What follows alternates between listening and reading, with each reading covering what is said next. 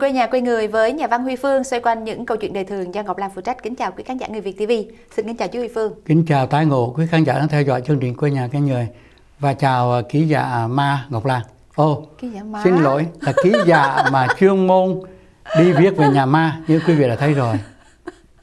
À, thì là thành á bây giờ là phải nói là đây là một ký giả và hôm nay tôi hỏi thử là cô nữ ký giả hay là nói theo kiểu chữ nghĩa bây giờ là siêu ký giả này ấy, hay là nhà báo nữ đó, nhà báo gái đó Ừ, nhà báo thì gái có thấy thì con ma nào hiện thị không?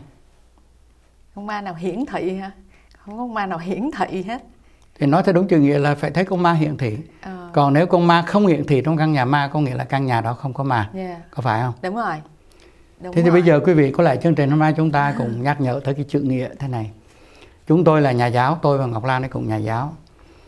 Và thứ hai là cũng hành nghề ký giả thì thưa quý vị thế này. Cái người ký giả luôn luôn ngày nào phải viết và ngày nào phải dùng chữ nghĩa.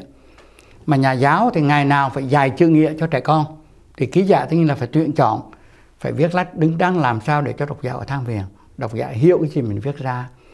Và cái nhiệm vụ nhà giáo là dạy cho trẻ con viết tiếng Việt đúng và tiếng Việt trong sáng. Không thể nào dạy cho con viết tiếng Việt sai được đó. Thì nhiệm vụ nhà giáo thì chúng tôi vừa là ký giả vừa nhà giáo thế nên rằng rất là quan tâm. Không phải là dùng chữ bức xúc như trong nước mà phải nói là rất là đau đớn và nhiều khi nói thiệt cũng mất ngủ nữa vì những cái chuyện lăng nhăng chữ nghĩa mà không cách làm sao mà chúng ta trừ cho được. Thì với tư cách cũng là ký giả cũng là là có những cái người mà gọi là hay dùng chữ nghĩa hàng ngày thì Ngọc Lan có cái khái niệm gì về cái chữ nghĩa mà bây giờ chúng ta đã bị ảnh hưởng trong nước cho chứ chúng ta không nói là trong nước đang dùng. Trong nước đang dùng là lại đương nhiên. Mà chúng ta ngoài chúng bị ảnh hưởng như vậy. Thì cái đó nó có hại gì cho tương lai không? Um, cái chuyện mà mà cái ngôn ngữ ở trong nước nó ra nước ra đến đây nó ảnh hưởng thì đương nhiên nó nó phải có sự ảnh hưởng rồi. Nhưng mà Ngọc Lan nghĩ uh, cái nhiệm vụ của mình thì trong một cái chừng mực nào đó mình mình làm sao như chú Huy Phương nói là để cho tiếng Việt nó được trong sáng có nghĩa là cho dù là chữ cũ chữ mới hoặc là bất cứ cái gì nhưng mà đọc thì người ta phải hiểu. Ờ, hiểu nó có nghĩa thì cái chuyện đó là điều mình phải làm. Bây giờ tôi dạy dù tôi đọc một cái bảng gọi là báo cáo để con Ngọc Lan là hiểu bao nhiêu phần trăm. Thay vì mình thưa gợi thì ờ, cái kiểu là báo cáo các bác.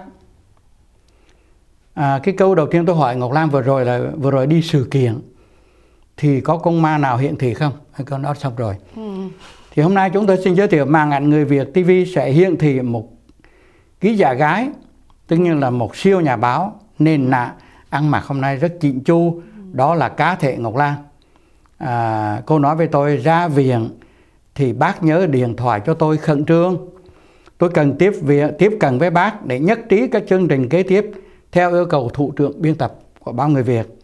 Vì kế hoạch chưa đạt lâu nay nhận công tác hiệp đồng điều phối trong chương trình à, quê nhà quê người để giao lưu với độc giả. À, thì tôi rất bức xúc và quý vị có tâm tư về những chuyện này hay không? Trời ơi! Này chú. Sao lại cười? Có cười ra nước mắt không? Sao? Không nó đang đang lùng bùng đang đang từ từ đang từ từ hỏi là đang chú Huy Phương đang muốn nói cái gì mà đầu nó nghe nó lắp bắp lắp bắp ra lỗ nếu tai. mà Ngọc Lan không hiểu cái gì. Nhưng mà chữ nghĩa này là tôi dùng rất đúng. Tại vì thế này ví dụ như là bây giờ chúng tôi kính thưa quý vị cho nó lễ phép. Ừ. thì nhiều cô bây giờ là quý vị ơi Ừ. tại chữ ơi á, là mình để mình gọi những người thân thương mình ơi em ơi hay là bố ơi Ừ. quý vị quý vị ơi thì nghe có được không? Thì đó là thành chúng tôi đã nói lại. Nhà báo và nhà giáo là những người mà gọi như là suốt ngày ngày nào cũng quanh quẩn với chữ nghĩa cho nên muốn chữ nghĩa trong sáng. Thì thưa quý vị à, bây giờ quý vị nghe những cái chữ như là xử lý tình huống cuộc khởi nỗ lực kiên cường phương cách đá tham gia lấy bóng khoảng cách lời thế sự kiếp cận sự tỏa sáng. Những danh từ này danh từ của à, quốc cấp vừa rồi. Khi mình mà mô tả một trận đấu đó thì có những chữ như là thay vì là mình đoạt bóng đoạt trái banh đó, thì nói là tham gia lấy bóng.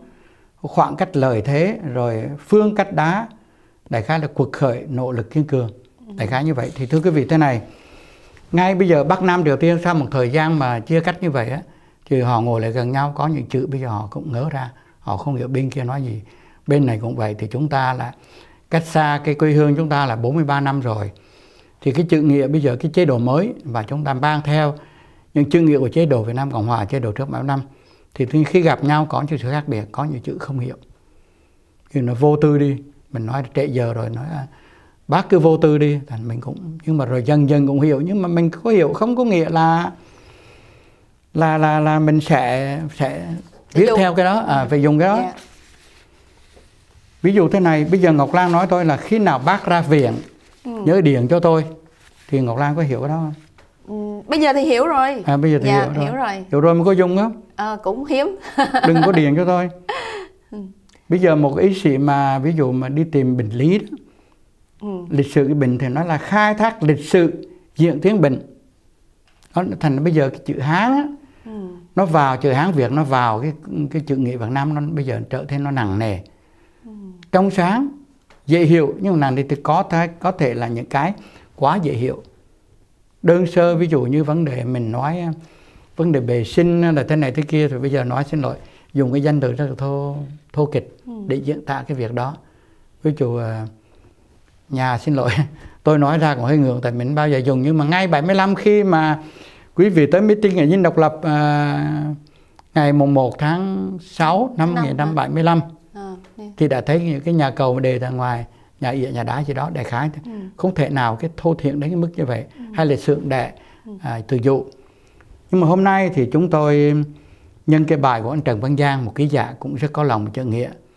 Thì ông có viết về đại khái về tất cả những cái chữ nghĩa mà gọi là chữ nghĩa mới. Thì chúng ta thiết nghĩ nên tránh và không nên dùng chữ đó. Mình hiểu nhưng mà cái ngôn ngữ nó là cái nguồn gốc nó là cái trong sáng nó là cái tinh thần của một dân tộc không thể nào chúng ta dùng bừa bãi như vậy và cái điều tôi xin quý vị truyền thông hải ngoại là quý vị nên cẩn trọng đừng bao dùng và lặp lại những cái chữ mà trong nước đã dùng nếu quý vị thấy chữ đó không tối nghĩa trong sáng có khi là sai nghĩa À, trở lại với vấn đề à, chữ nghĩa nên dùng như thế nào cho trong sáng, dùng như thế nào cho chữ đó có nghĩa. Xin mời quý vị cùng uh, trở lại với uh, nhà văn Huy Phương và Ngọc Lan sau phần thông tin thương mại.